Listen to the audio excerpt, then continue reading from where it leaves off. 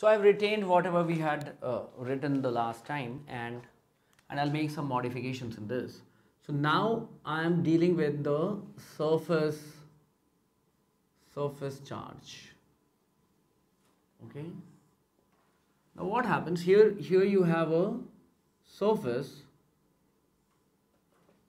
surface and if you have spread a, a charge q over the surface okay? So so here it is over the surface. S we define it we define surface charge density sigma as q upon s. When the charge is uniformly distributed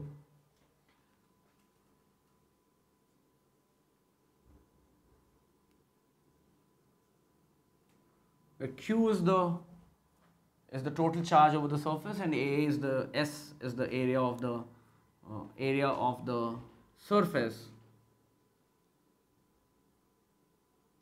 over which the charge is spread. Lambda instead of lambda we call it sigma. What happens? Again the same thing. If it if it changes from area to area if it is non uniformly distributed charge then we define it something like this. This is for a non uniformly distributed charge. Now over a very small area delta s we have a charge of sigma delta s.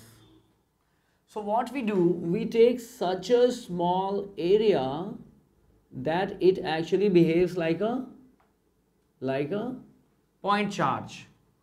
So while finding my dE, what do I do? I, I write this as sigma delta s into this.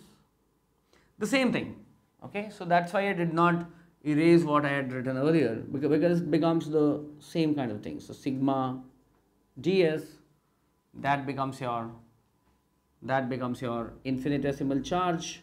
But but what is the advantage? It becomes a point charge. Right? It becomes a point charge. And and this integration has to be over the whole surface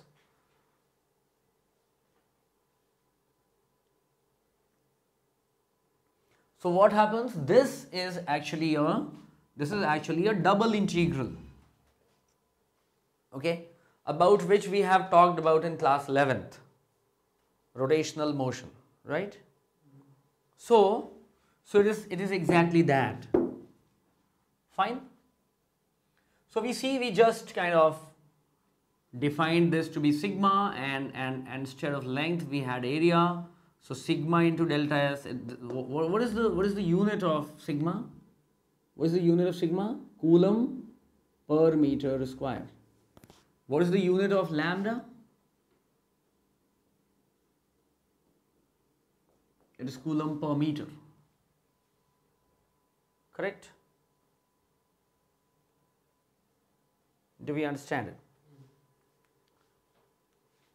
Now if we understand it, we can take it further to, to represent a volume and, and nothing changes. So I, I am not waste, going to waste time writing it all over again. So instead of this, it becomes a volume charge, right?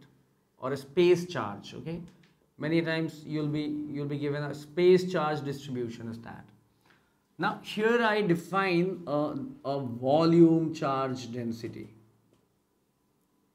rho as q upon v so the total charge, so the total charge is spread over a volume V.